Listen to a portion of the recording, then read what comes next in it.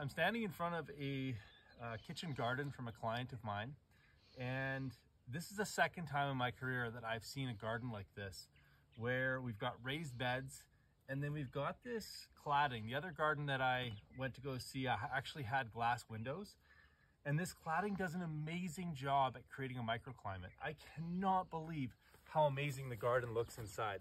We're in a pretty cold montane climate, and I was really skeptical about how well plants were gonna grow out here unprotected from a passive solar greenhouse like the one behind me. But this little bit of glazing around the outside of this garden has absolutely provided an incredible microclimate for these plants. So this is a really low-tech way to get the benefits of a greenhouse without having the expense of a greenhouse.